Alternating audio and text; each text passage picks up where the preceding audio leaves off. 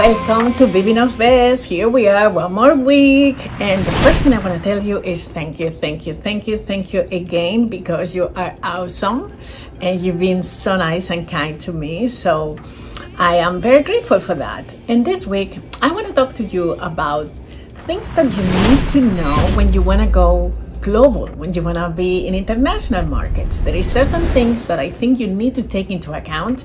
And of course, this is a very um, big theme, and I could not just tell you everything in one time, but unless I would like to just give you a little bit of hints about what to do when we want to go international.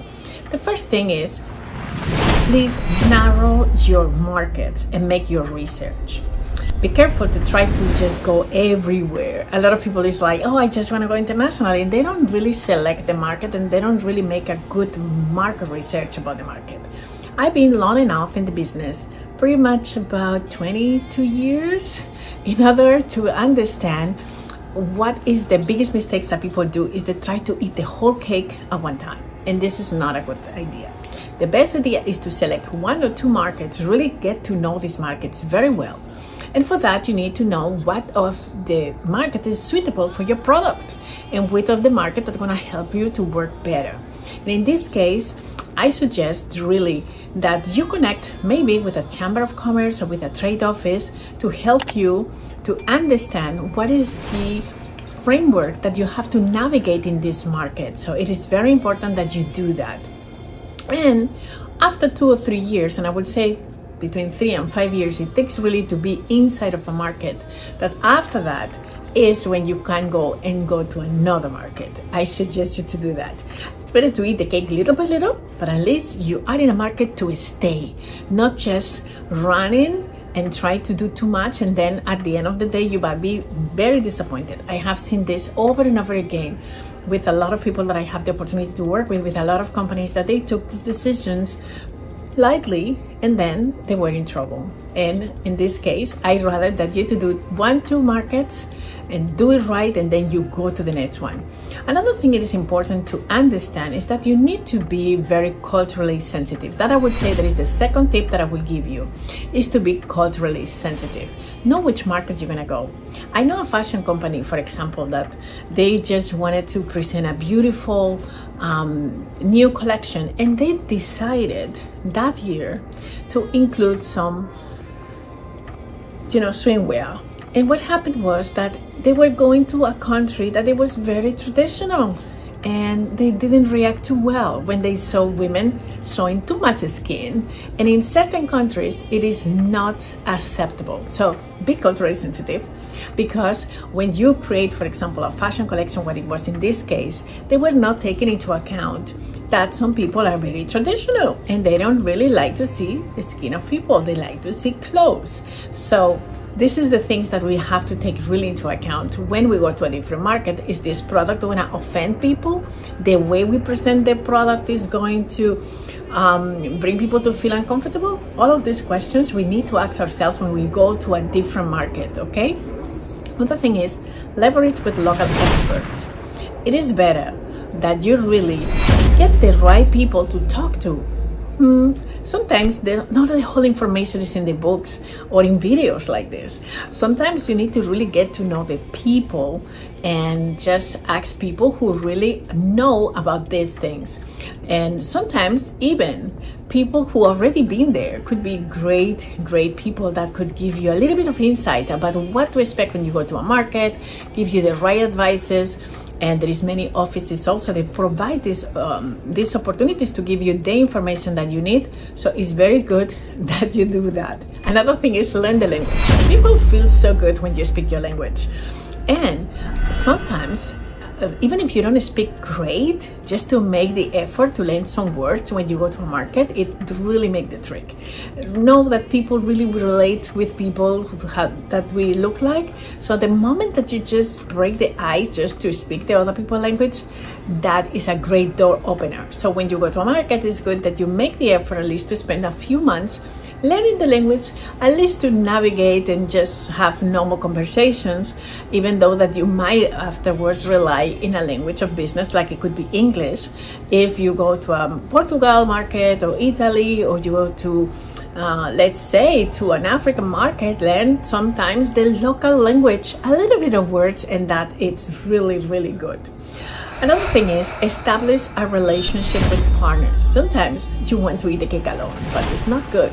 Sometimes it's good to have partnerships, and even in some countries, it is required that at least 20% or 50% of the company might have to be in people, local people hands.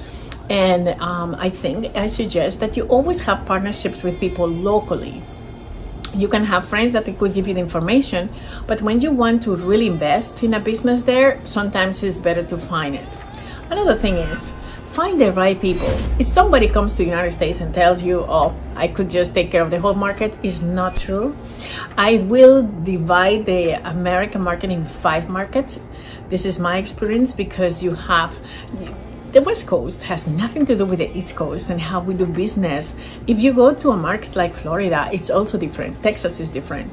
Chicago, M Michigan, all of the Midwest is different. So it is important that when you have a partnership, that you have better a local partnership or somebody who knows the region, the area. But if somebody tells you that, oh no, no, I know the whole continent of Africa, it is very difficult that you have these kind of partners that they could just distribute all over or they could just um, have the potential to really reach out to all of these places. It's better sometimes to have regional people, partnerships that could help you little by little, and at the end of the day, you might grow much faster and better. also, focus in international marketing systems because sometimes the marketing that helps you back home, it might not help you in the new market that you go in. So it is important that there is certain things, systems of marketing that works globally. And let's say when you are in online, it's much easier because there is certain things that apply basically for all markets. But when it comes to the marketing standards of each country, they also have their own peculiarities. And sometimes you need to also combine the online with the offline. So take this into account and maybe you it's good that you also consult with a marketing company there and see what is the mechanisms to reach out better to people because at the end of the day you want to sell your product. You want to become relevant in that particular market. So you better just um, know that there is systems yeah, that work globally and it's important that you use them, but also combine with the systems that are really uh, typical from that particular country. And just to wrap up, important is to set a billing system and to set a payment system that works for the market. In certain places, I remember when I came to the United States to do letters of credits, it was kind of offensive. Some people they didn't like that, and in Europe was perfectly okay. So it's good that you understand what is the billing systems that they have and how they like to get paid and what is the terms also to get paid. All of these peculiarities is important to take into account. Nowadays, we have a better time. When I started international business 20 years ago, it was not so easy. But now we have all of these systems, uh, uh, Wise, uh, Venmo, PayPal, so many different systems. And also the wire transfers are much easier.